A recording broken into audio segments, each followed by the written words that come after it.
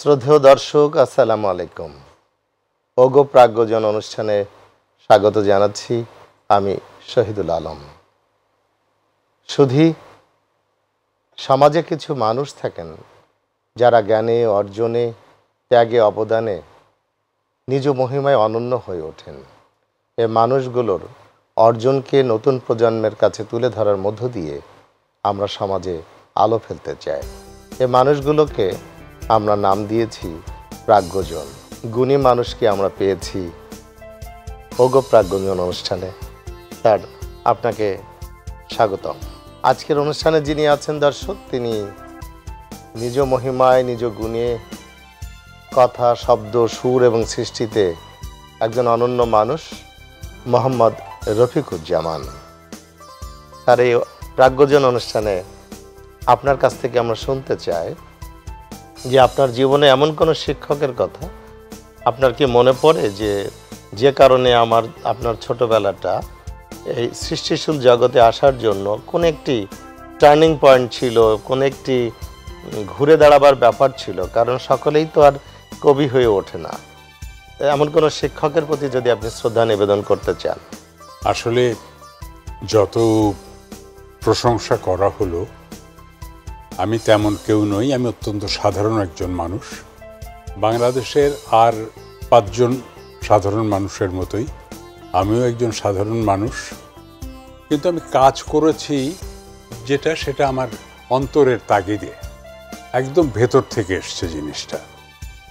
তো আমি কয়েকজন শিক্ষক আমার জীবনে পেয়েছি। যে কয়েকজন শিক্ষক আমাকে আসলেই আমাকে তাড়িত করেছেন লেখালেখির দিকে বিশেষভাবে। আমার একদম স্কুল জীবনে একদিন মানে আর কি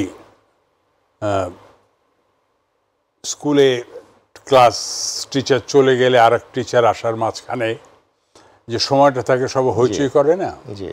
তো আমি সেই হইচইয়ের মধ্যে বলছি যে চুপ সকলে চুপ। সার আসবে পড়বে পিঠে ধূপ। জি। হ্যাঁ। তো এটা বলেছি। ছড়া কিন্তু ছড়া, নতুন- হ্যাঁ। নতুন রূপে শোনা গেল। তো হঠাৎ করেই স্যার যখন এসছেন আসার পরে আমরা সব শান্ত হয়ে বসছি হ্যাঁ। বলে এত হইচই শোনা যাচ্ছিল কেন? বাইরের থেকে?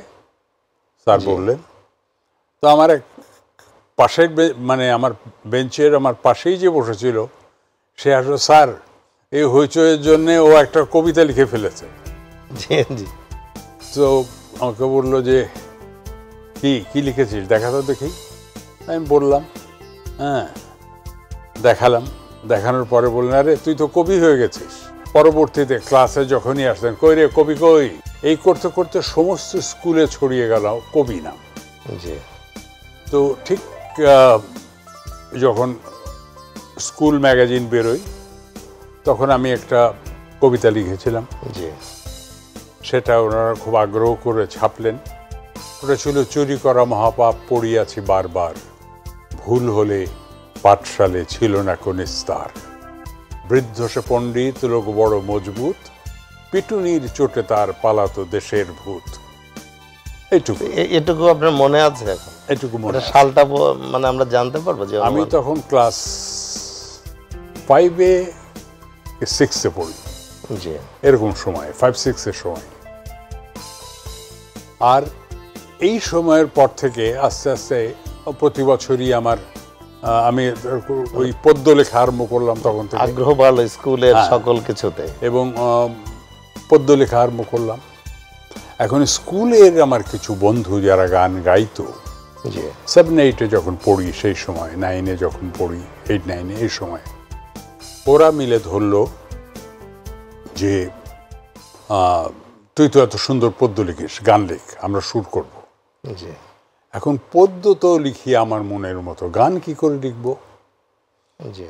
তো এই ভালো ভালো গান তখন যা শুনতাম এই দেশের পাশের দেশের যেসব ভালো ভালো গান শুনতাম এগুলো খুব শোনা আরম্ভ করে দেখলাম যে এর চমৎকার বিভাজন আছে। একটা যেটা মুখ বলে অরিজিনালি বলে অস্থায়ী। মানে স্থায়ী আর কি। এটাই ওই ঠেট হিন্দি- সেটাই স্থায়ী। ঠেট হিন্দি উচ্চারণে স্থায়ী হয়ে যায়। স্থায়ী অন্তরা সঞ্চারী আভোগ। এই চারটা খেয়াল করলাম। করে তারপরে লেখা আরম্ভ করলাম। তো লিখতে লিখতে ওদের কয়েকটা গান খুব পছন্দ হয়ে গেল। ওরা সুর করল এবং স্কুল ফাংশানে গাওয়া শুরু হলো। তো এটা গেল আমার এই আলী স্যারের কথা বললাম যিনি আমাকে কবি বলে ডাকা আরম্ভ করেছিলেন এবং আস্তে আস্তে স্কুলের সব ছেলেরাই তখন তো যশোর জেলা স্কুল সব ছেলেদের স্কুল তো সব ছেলেরাই তখন দেখি যে কবি বলে ডাকছে। আর তাহলে এখানে যদি আমরা একটু পজ দিই যে সেটি হচ্ছে যে একটা ষষ্ঠ শ্রেণির একটা ছেলের প্রতিভাকেও স্কুলের সবচেয়ে জনপ্রিয় টিচার যেভাবে ছড়িয়ে দিলেন হ্যাঁ। এই যে রিকগনিশন বা স্বীকৃতি এটাও বোধহয় মানুষের জীবনে খুব দরকারি এবং বন্ধুরাও খুব বন্ধুরা অনেক সময় কিছু হ্যাঁ। সৃষ্টি করতে গেলে সমালোচনা করে। আর এখানে দেখা যাচ্ছে আপনার বন্ধুরা বলছে যে তুই লেখ হ্যাঁ। আমরা সুর করব। সুর করা মানেই তো সে সময় মঞ্চে হ্যাঁ। গাওয়া তার মানে হচ্ছে শিক্ষক এবং বন্ধু ওই বন্ধুরাও ছিল আপনার জীবনে গান লেখার হ্যাঁ, জন্য হ্যাঁ। অনুপ্রেরণা। অবশ্যই। নাম মনে আছে কারও? কে বেঁচে আছে? শাহ মোহাম্মদ মুর্শেদ। আরেকটি ছেলের ডাক নাম মনে আছে লাট্টু। ভালো নামটা মনে নেই। আচ্ছা। হ্যাঁ। ও চলে গিয়েছিল পরে।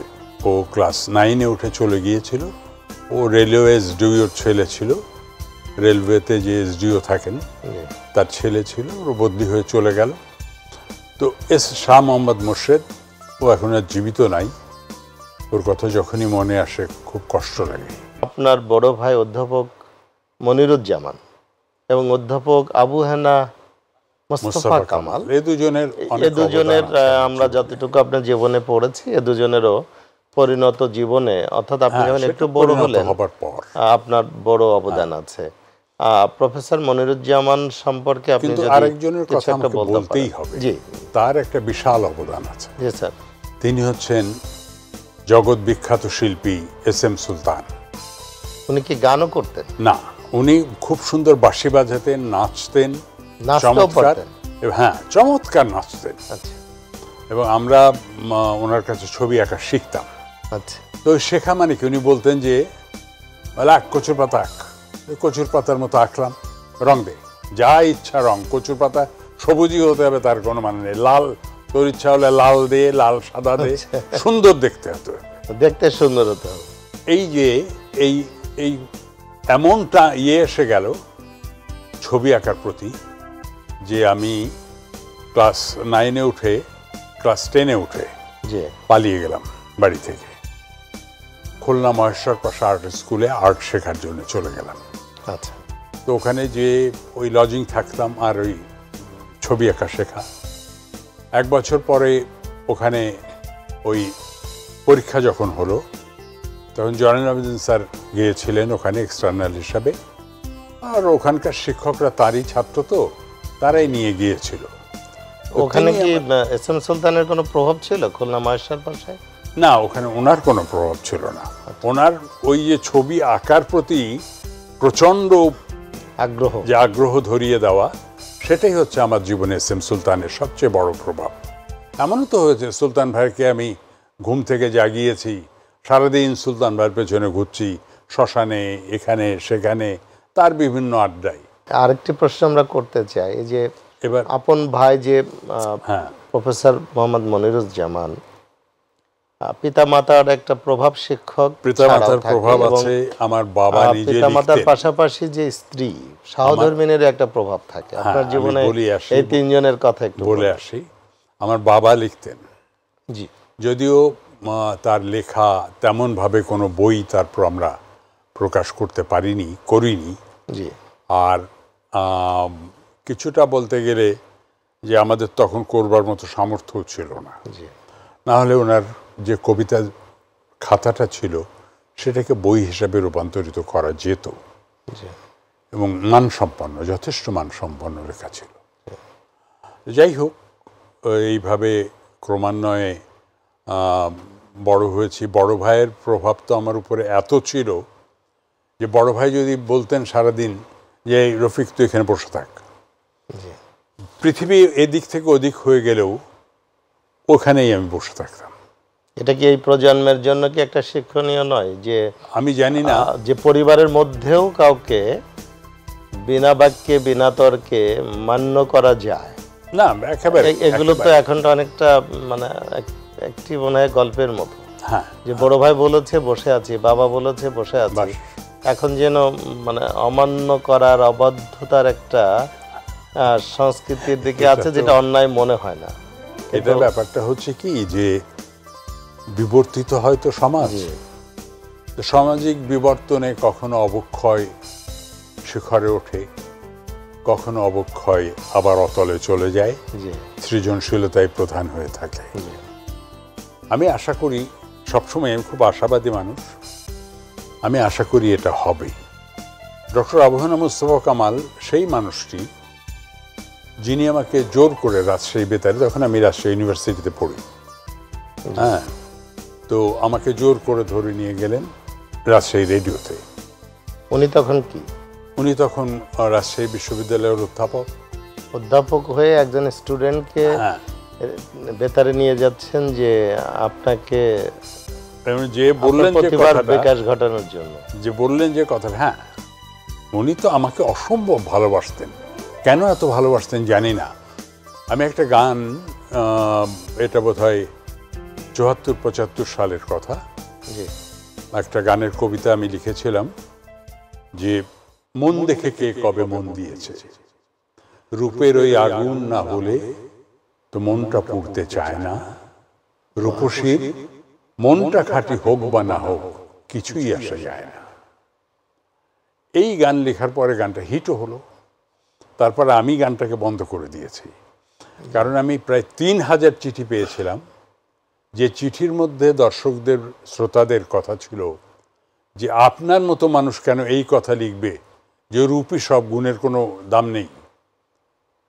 হ্যাঁ এবং এই প্রথম আমি অনুভব করলাম যে আমার কাছে কিছু একটা এক্সপেকটেশন আমার শ্রোতাদের জন্মেছে। মানে শ্রোতায় আপনাকে হ্যাঁ। একটা ক্লাসিক্যাল গীতিকবি হিসাবে গড়ে উঠতে হ্যাঁ। বা আপনার রচনায় কোনো মানের কম থাকবে এটা শ্রোতা চায়নি। চাইনি এবং এরকম অনৈতিক কথা। অনৈতিক এটা অনৈতিক বলা যাবে না হ্যাঁ, এক- এক পক্ষের পছন্দ।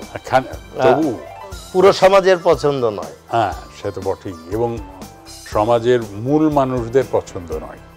এই কথাটা। জীবনটা ভরা থাক সৃষ্টি বুকে থাক বাংলার কৃষ্টি। এই লাইনটা আপনার বেলায় যত খাটে এটা আর কারও বেলায় খাটে না। এই লাইন দুটো অনেকের বেলায় অনেকের মধ্যে আপনি অনন্য আমরা বলেছি। এই যে সৃজন জগতে আপনি এলেন দুই হাজারের উপরে গান রচনা এটা তো সহজ কথা নয় এবং অধিকাংশ কবিতা আপনার মনে আছে। আপনি যে সমস্ত সিনেমার চিত্রনাট্য লিখেছেন আহ, এক ঘণ্টা দিয়েই তো মানুষ হ্যাঁ। সারা জীবনের মানুষের অবসরের ছুটি কেড়ে নিতে পারে। শিশু তোষ নাকি বিজ্ঞ মানুষের জীবন সতর্কতার কি মূল্য শুভতা আপনি লিখেছেন এবং আপনি এমন অনেক গান হ্যাঁ এমন অনেক গান লিখেছেন যেগুলো দর্শক শ্রোতা সবার কানে লেগে আছে। তবে উল্লেখযোগ্য একটি সৃষ্টি হচ্ছে আপনি সর্বকালের সর্বশ্রেষ্ঠ বাঙালি জাতির পিতা বঙ্গবন্ধুর শহীদ হওয়ার পরে যখন কেউ কথা বলছে না তখন আপনি যে গানটা লিখেছিলেন যদি মরণের পরে কেউ প্রশ্ন কি করে দেখেছি? আমি বলব চোখের কাছে নাও না জেনে ওখানেই বাংলাদেশের রূপ এঁকে রেখেছি। এটা উনিশশো ছিয়াত্তর সালে লেখা। এবং শুধু খন্দকার নুরুল আলম সাহেব যিনি এই গানটির সুরস্রষ্টা তিনি জানতেন আমি জানতাম। সুবীর নন্দী জানতো। সুবীর কিন্তু প্রথম এই গানটি গিয়েছিল। এই গানটি সুবীর প্রথম গিয়েছিল পরে সাবিনাকে দিয়ে আবার রেকর্ড করা হয়। তারপরে সুবীরের রেকর্ডটা হারিয়ে যায়। কিন্তু সুবীর প্রথম গিয়েছিল এই গানটি। ও উল্লেখ করে অনুষ্ঠানে গিয়েছে এবং কেন সেটাও বলেছে যে এই গান কেন লেখা। যাই হোক মূল ব্যাপারটা হচ্ছে কি যে মান ভেতর থেকে যেটা ভক্তি জি। সেটাই কিন্তু মূল ব্যাপার। তবে প্রদর্শিত ভক্তি ভক্তি নয়। আপনার কোনো গানের কথা কি আপনি মনে পড়ে যেটা আমি- আমরা বলতে পারি যে এটা আমার আমার খুব পছন্দের সাম্প্রতিক সময়ে।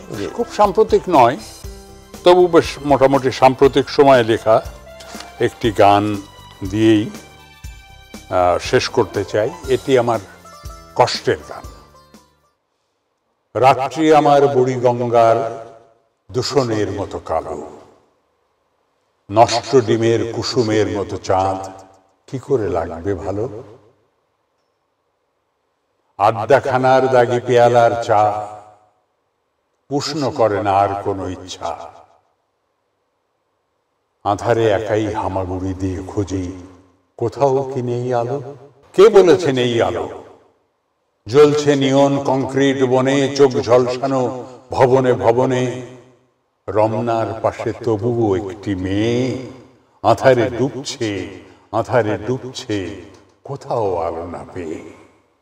প্রিয় দর্শক, আমরা আশাবাদী থাকতে চাই, আলো এবং আধার দুটোই থাকবে, তার মধ্যে আলোর মাত্রা আমাদের জীবনে বাড়ুক, আমাদের সমাজ আলোকিত হোক। আমাদের সব মনের জানালাগুলো খুলে যাক সভ্যতার দিকে স্যার আপনাকে অনেক ধন্যবাদ। অনেক ধন্যবাদ। অংশগ্রহণ এই এত চমৎকার উপস্থাপনার জন্য ধন্যবাদ এই যে সমস্ত কি বলে। মাই টিভির কলাকুশলীরা আছেন যারা এই এতক্ষণ নেপথ্যে ছিলেন রেকর্ডিং থেকে শুরু করে ক্যামেরা বন্দি করা থেকে শুরু করে রেকর্ডিং এবং আরও পরে আরও যে সমস্ত ক্রিয়াকর্ম আছে সেগুলোর সঙ্গে আছেন। এবং সবচেয়ে বড় হচ্ছে দর্শকবৃন্দ। যারা এই আলোচনা শুনলেন শুনছেন তাদের সবাইকে আমি আমার অন্তর থেকে কৃতজ্ঞতা জানাই এবং শুভেচ্ছা জানাই কামনা করি যে কদিনই বাঁচি আমার জন্য এইটুকু দোয়া যেন তারা সবাই করেন সুস্থ হয়ে বাঁচি। খুব অসুস্থ হয়ে আর অসুস্থ, আর এর চেয়ে বেশি অসুস্থ হতে চাই না। যেতে হলে চলে যাই, কোনো ক্ষতি নেই। এই সবাইকে ধন্যবাদ। প্রিয় দর্শক, আমাদের কথায় কথায় সময় ফুরিয়ে এলো। আমাদের আজকের অনুষ্ঠানের প্রাজ্ঞজন ছিলেন মোহাম্মদ রফিকুজ্জামান। আমরা স্যারের সুস্থতা কামনা করি এবং আপনাদের সাথে দেখা হবে অন্য কোনো পর্বে, অন্য কোনো প্রাজ্ঞজনের সাথে। সুস্থ থাকুন। ভালো থাকুন আলোর সাথে থাকুন। অনেক ধন্যবাদ।